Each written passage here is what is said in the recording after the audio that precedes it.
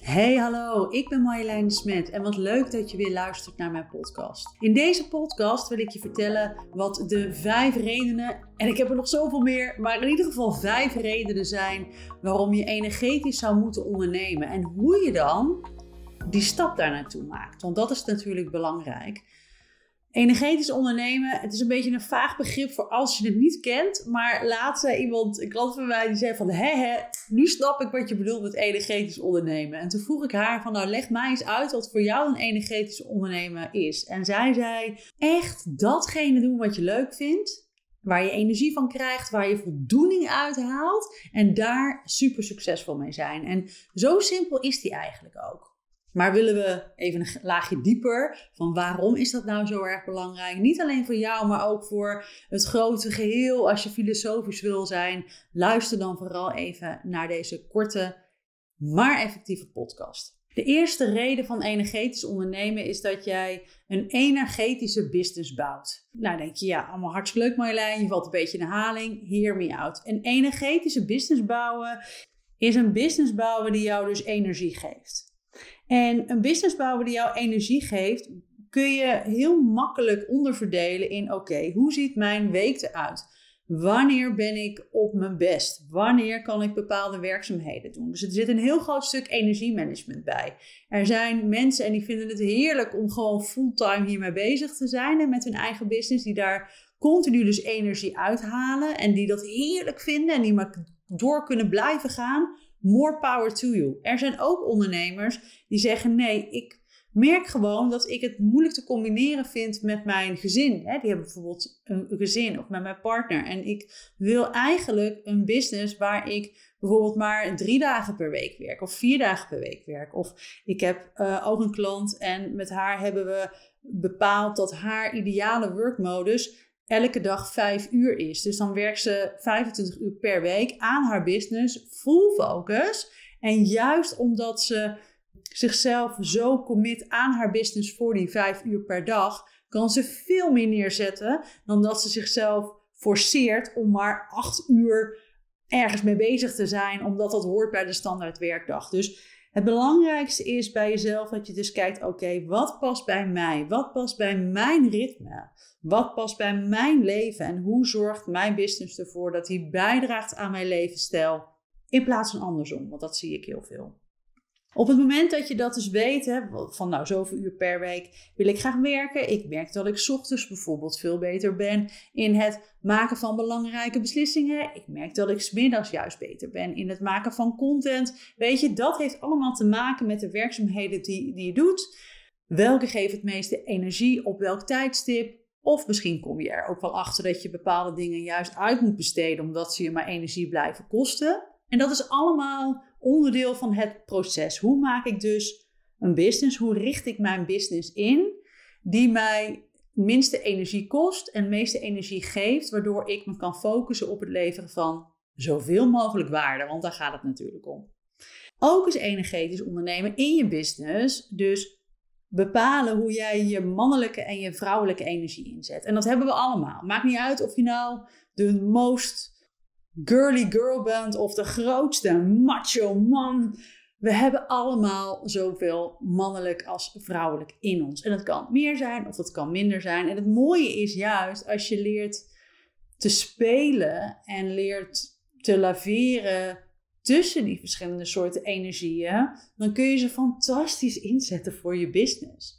Want je mannelijke energie gaat heel erg over actie en daadkracht en uh, beslissingen nemen, koers bepalen en vasthouden. En dat is super waardevol en ook keihard nodig in een business. Het is, je kunt niet een business succesvol runnen zonder mannelijke energie erbij. Dat gaat gewoon niet. Net zoals je geen goede business kan bouwen en kan runnen zonder vrouwelijke energie.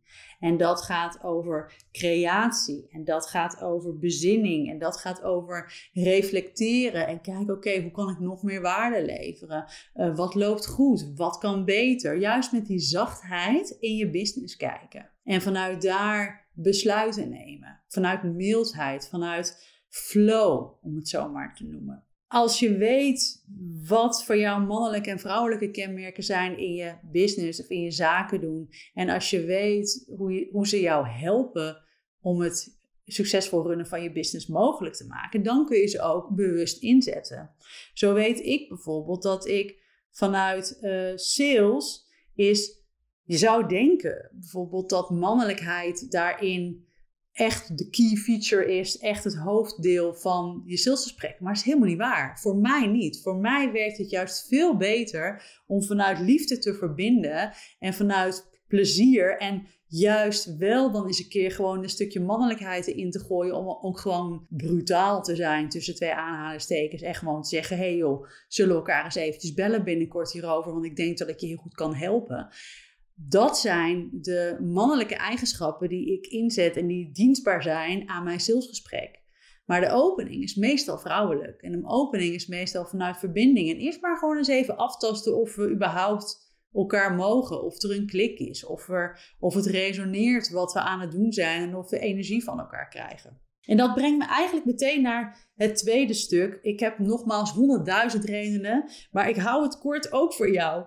Ehm, is juist energetische sales. En dat is een hele erg belangrijke. Als jij energetische sales, dus energie goed inzet bij jezelf en ook bij die ander en het veld opent om mensen te verwelkomen en connecties legt vanuit liefde en vanuit enthousiasme en vanuit echt voelen dat je die ander kan helpen. Dus niet alleen maar ik wil cellen, cellen, cellen, maar juist dus ja, dat, dat lemniscaat aan geven en aan ontvangen wil bewerkstelligen, als dat je intentie is, dan word je echt een magneet. Dan word je een magneet voor anderen, juist omdat je gewoon zo heerlijk open bent en ontvankelijk en vanuit de juiste intentie het gesprek aangaat. Steeds meer mensen, gelukkig, voelen gewoon wanneer het fake is. Ik heb zo vaak gehad, echt zo vaak gehad, wanneer ik hoorde, gewoon letterlijk hoorde, dat ze een script aan het oplezen waren. Of hoorden van, oh nee, dit is weer zo'n typisch schaarste trucje. Weet je, mensen zijn daar tegenwoordig klaar mee. En steeds meer en steeds vaker gelukkig. Dus het gaat niet meer om, volg ik het juiste 1 million dollar sales script. Maar ben je gewoon jezelf. Ben je gewoon jezelf en durf je vanuit daar een connectie aan te gaan, vanuit trots op je bedrijf, vanuit trots op je dienst, omdat je weet dat het zoveel waarde toevoegt. Is een hele erg andere benadering dan ik moet pushen, pushen, pushen en cellen. Dus energetische sales maakt sales ook veel leuker, maakt het veel natuurlijker, maakt het veel makkelijker daardoor. Omdat je niet zo bezig bent met het eindresultaat dat je moet pushen, maar dat je veel meer bezig bent met: oké, ik mag gewoon een connectie aangaan. En als het klopt, dan zet ik in wat ik in te zetten heb. En als het meant to be is, dan is het meant to be. En als het niet zo is, is het ook oké. En het fijne is juist omdat je veel makkelijker dus gesprekken aangaat, omdat je je helemaal zeker voelt vanuit wie je bent, doe je ook veel meer aan sales onbewust. Zonder dat je daarvoor hoeft te forceren of hoeft te pushen of dat je jezelf ja, eigenlijk taken meegeeft. Dat je al denkt, oh kut, nu ga ik weer. Weet je, nu moet ik weer een salesgesprek aangaan. Dus het maakt het lichter, het maakt het leuker en daardoor zoveel meer effectiever. Hetzelfde ook met uh, nummertje drie, energetische marketing. Ik draai nu eigenlijk om, maar zwaar, weet je, energie is ook gewoon gaan waar het gaan gaat. En ik moest beginnen met sales, dus dan doe ik dat. Energetische marketing, energetische branding is eigenlijk hetzelfde. Het wordt zoveel makkelijker zoveel makkelijker op het moment dat je gewoon jezelf bent. Want jeetje, vrouw of man, wat heb jij toch superveel wijsheid in je? Wat heb je veel kennis in je? Wat heb je veel levenservaring in je? Wat heb je veel waarde in je? Daar ligt het helemaal niet aan. Je hoeft niet meer te leren of je hoeft niet een extra studie te doen om die post te kunnen maken. Je kunt nu al beginnen met gewoon jezelf te laten zien en dat is genoeg. Het is echt genoeg. Sterker nog, zoveel aantrekkelijker als je gewoon maakt vanuit wie je bent. In plaats van dat je jezelf loopt te meten aan een bepaald beeld dat je denkt dat je moet bereiken om succesvol te zijn of om de nieuwste TikTok-trend te zijn of om uh, zoveel views te krijgen. Het maakt niet meer uit als je vanuit energetische connectie met je ideale klant, je echte ideale klant, dus dat is een, ook nog een ander verhaal.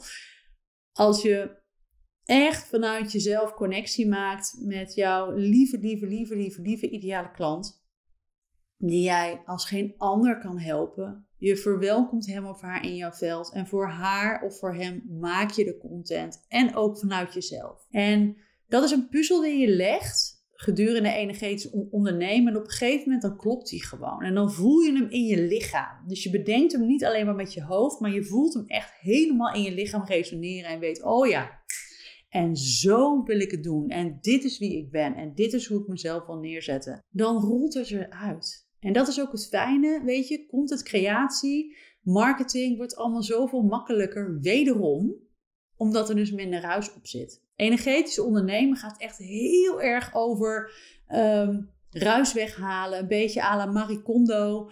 Alles wat je niet dient, bedank je met liefde en laat je gaan. En je focus je alleen maar op datgene wat er echt toe doet en wat de diepste kern is van wie jij bent. En dat geeft meteen veel meer focus, veel meer helderheid, veel meer connectie met jezelf, veel meer gevoel van purpose en waarde. En daardoor ook dus veel meer connectie met je ideale klant.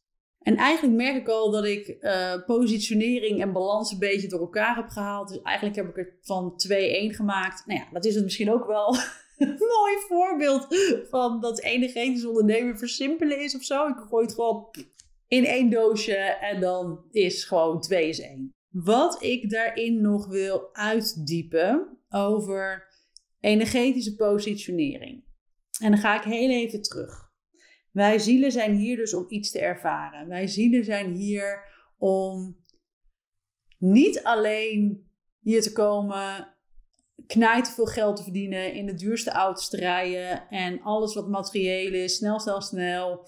Uh, of zelf helemaal overladen en dan daarna het hoekje omgaan, want we nemen niks mee. Waarvoor we hier zijn, is naar mijn mening om te leren en om te ervaren.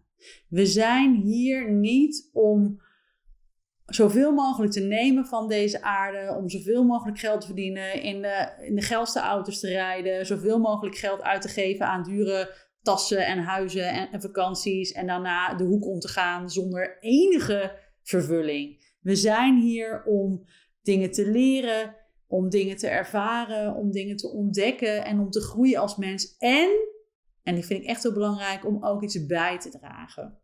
Het helpt ons allemaal als we bijdragen aan een groter geheel. Dat is enerzijds gewoon biologisch, hè, vanuit de oertijd had je het nodig om in een tribe, hè, om, in, een, in, in, je, in je, je stam, moest je bijdragen aan het grote geheel van de stam. Anders overleefde je het niet als stam. Dat was het risico. Of je werd eruit getrapt. Dus het is puur ook gewoon een stukje overlevingsmechanisme om bij te willen dragen aan het grotere geheel. En aan de andere kant, het maakt ons zoveel dienstbaarder. Het geeft ons zoveel voldoening als we niet alleen maar met onszelf bezig zijn.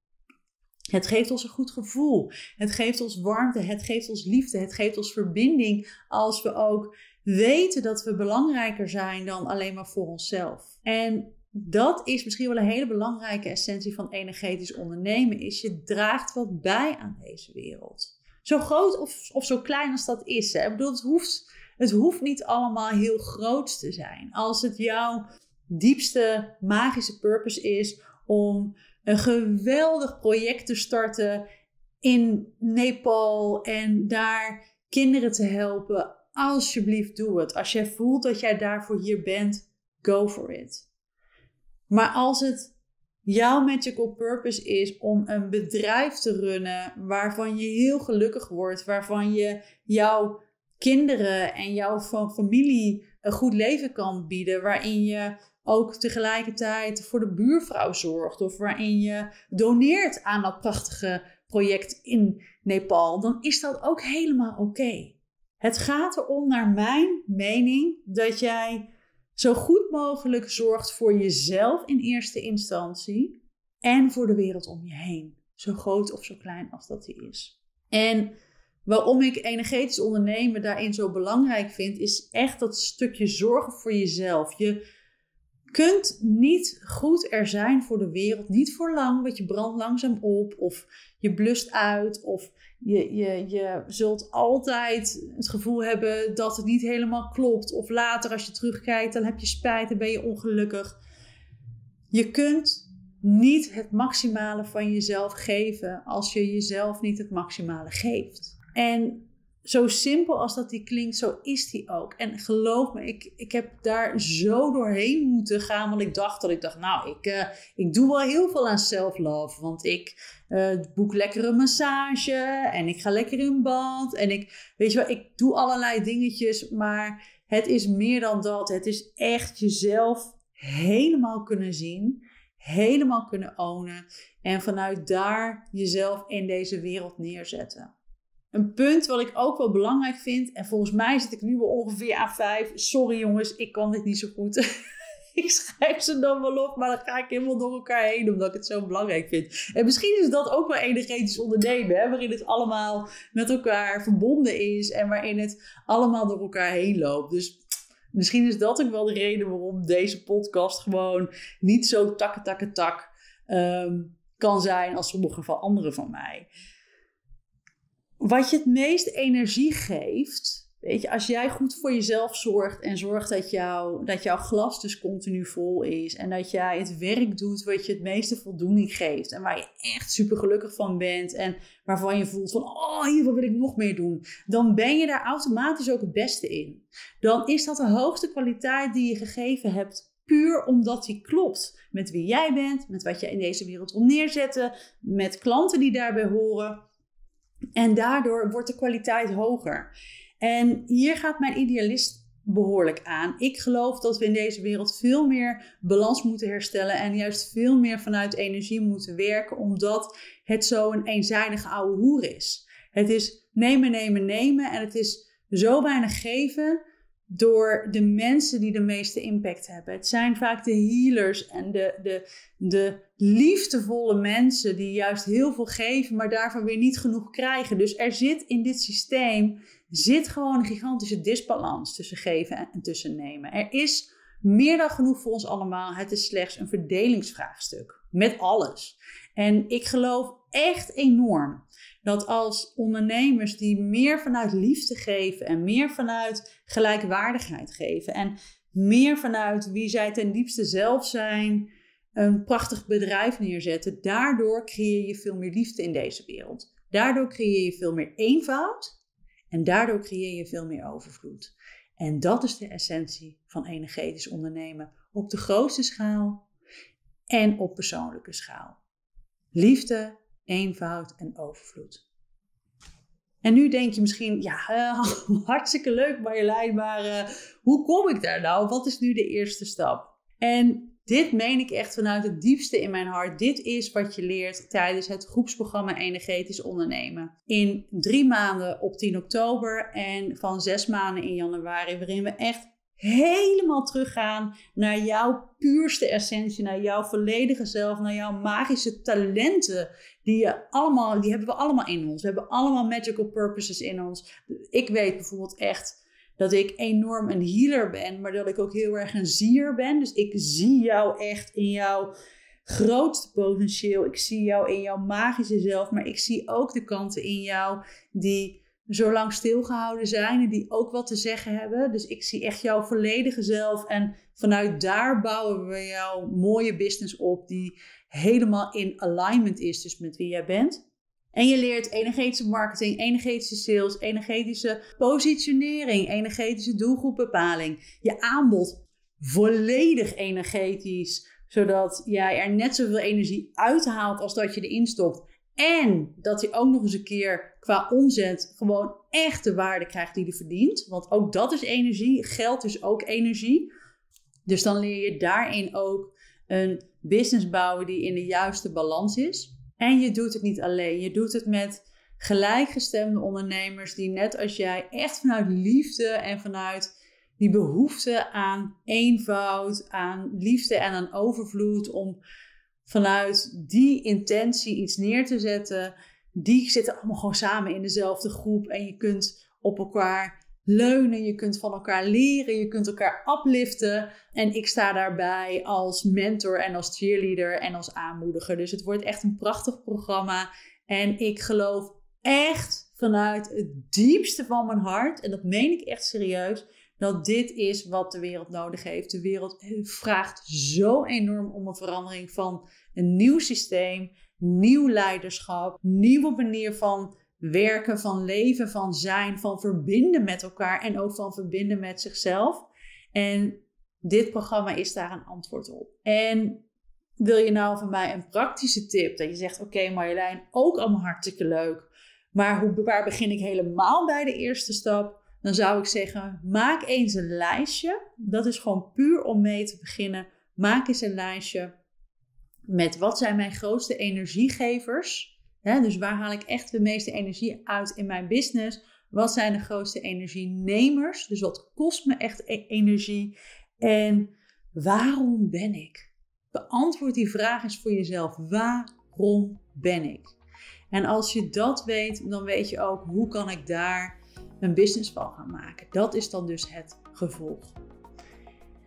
Ik ben heel erg benieuwd, wat is energetisch ondernemen voor jou? Is het inmiddels al een stuk duidelijker geworden of blijft het nog een beetje vage spiriwiri talk? Ehm, laat me weten, want ik vind het heel belangrijk om met jou die connectie aan te gaan, om met jou het gesprek erover aan te gaan. En mocht je voelen, hey, ik wil echt meer weten over dat programma Energetisch Ondernemen, stuur me dan een DM. Dan kan ik je meer informatie sturen over het programma. Dat start in januari sowieso, want oktober zit al vol. En uh, ja, dan zou ik zeggen, maak er een prachtige dag van met dingen die je alleen maar energie geven. Heel veel liefs